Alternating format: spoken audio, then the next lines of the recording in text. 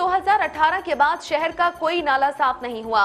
Funds न मिलने के बाईस नालों का काम तातुल का शिकार है। मेयर कराची वसीम अख्तर की मीडिया से गुफ्तगू। उनका कहना था कि बारिशों के बाद की सूरत हाल का जायजा लेने निकला हूँ।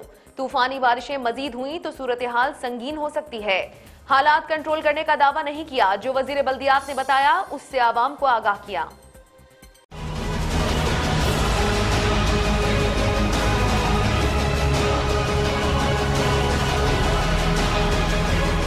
दो हज़ार अठारह जून के बाद नाले साफ़ नहीं हुए because of lack of funds in KMC June 2018 तक मैंने खुद खड़े होके कराची के 40 नाले साफ़ करवाए थे। जो 2018 जून में जो एग्रीमेंट खत्म हुआ था एक साल का, उसमें अभी भी पेमेंट बाकी है सिंध गवर्नमेंट की तरफ़।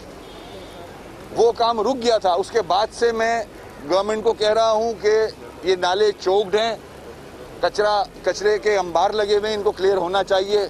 मगर ज़ाहिर है एनडीएमए की वार्निंग के बाद, मेरी प्रेस कॉन्फ्रेंस के बाद, अब वर्ल्ड बैंक सामने आया है कि वो स्पेंड कर रहा है पैसे तो उस फंड का सही यूटिलाइजेशन होना चाहिए प्रॉपर तरीके से।